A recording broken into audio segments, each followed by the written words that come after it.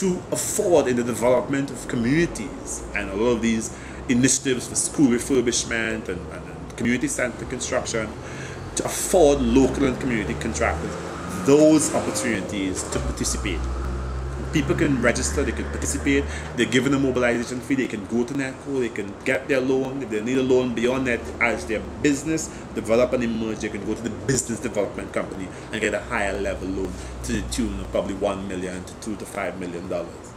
Opportunities across the board for citizens, irrespective of who you are. Unprecedented. And for all of those reasons, I can say that I'm very proud as a young person at age 30 to be a member of the People's National Movement. And I will continue to serve the people of Trinidad and Tobago through the structure of the PNM because I believe that the PNM represents the best for the people of this country. And notice I haven't dealt with health. Health is the biggest issue. We haven't spoken about CDAP. We haven't spoken about uh, hospital and, edu- and, and, and increase in uh, in surgeries and reduction in surgery waiting lists. Uh, we haven't spoken about issues such as uh, increasing amount of uh, healthcare professionals, doctors, nurses, and also training programs that will see an increase in the amount of locals who, who enter nursing and medicine and so forth which at the end of the day will translate to an improvement in the quality of health. We haven't spoken about issues such as movement in the direction of a national health scheme system, which is being worked out. We haven't spoken about arrangements with the John Hopkins uh, Medical School out of Baltimore, with an arrangement with the government trying to able to do health research and development in health initiatives.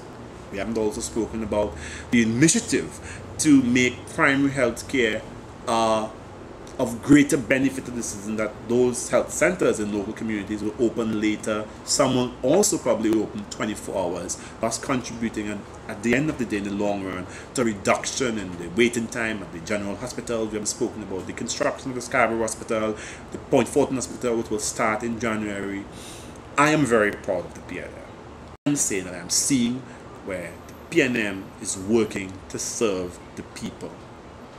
And I'm very proud that as a young person, I could participate in the process which would contribute to the overall development and well being of our society.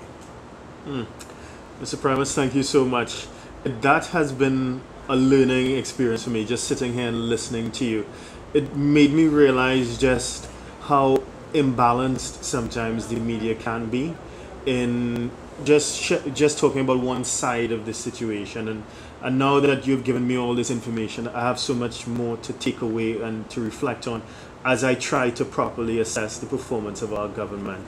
And for young people as well uh, there's the, I, I can see from your experience your first-hand experience a, a path of, of personal and career development that you have followed as you have pursued this path that you have basically chosen a path to service, to serve the people of Trinidad and Tobago, yeah. and that has to be respected and commended. So, and another point you made about all these uh, benefits that are accruing to us as citizens, it made me realize, you know what? Thanks to the PNM education policies, there are more young people access not just secondary but tertiary level education more so than ever before in our nation's history. And so there are more educated, aware, socially aware, politically aware. And I'm not cutting mm. across you, no, but no, I mean, I haven't also made mention to similar type training and development initiatives mm. uh, in sport and youth development. I haven't dealt mm. with the components in terms of the Ministry of Community Development, Culture and Gender Affairs. Their component because they have something called export centers, mm-hmm. Women and Family Program, mm-hmm. program in communities for which a lot of young people are in fact benefiting in. Mm-hmm. Uh, geriatric adolescent program. Young person also a lot of young people are involved in that mm-hmm. and it affords them to be able to to to develop that greater sense of awareness and need to care mm-hmm. for the mm-hmm. elderly mm-hmm. and our society. I mean, you look at this sporting component and you look at the, the funding and the need and the government agenda to refurbish and to construct and develop youth facilities and community centers and create mm-hmm. daycare centers and early childhood centers. A lot is actually happening in Toronto. A lot is happening. And mm-hmm. when you speak with friends abroad, mm-hmm. their situation is quite different. Mm-hmm. And I said that we don't really pay the full price for anything. That is true. Someone pointed out to me the other day that in Norway, property tax is 40%. 40%? 40% in Norway.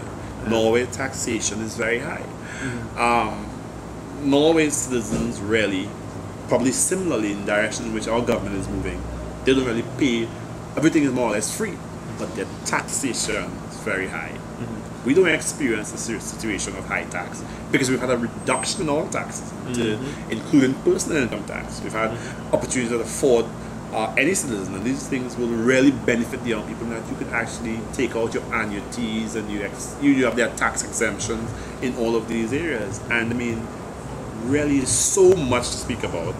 And you know, if one really takes the time to dissect all of the various uh, sectors of the economy and what government has done, everybody trying to be should actually want to be a support of the People's National Movement and be very proud of Patrick Manning and his leadership in terms of the vision for Trinidad and Tobago.